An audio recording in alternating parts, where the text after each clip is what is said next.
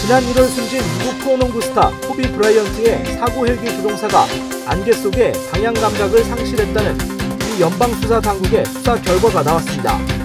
미국 연방교통안전위원회는 사고 직전 조종사가 헬기를 구름 위로 띄우기 위해 4,000피트 고도까지 오르려고 하고 있다고 관제소에 전했는데 실제로는 하강하고 있었다며 이같이 밝혔습니다.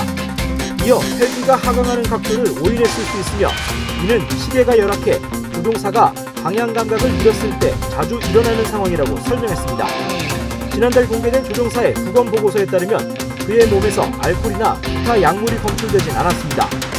앞서 지난 1월 발생한 헬기 추락 사고로 코비 브라이언트와 딸 지아나를 포함해 탑승자 9명이 전원 숨졌습니다.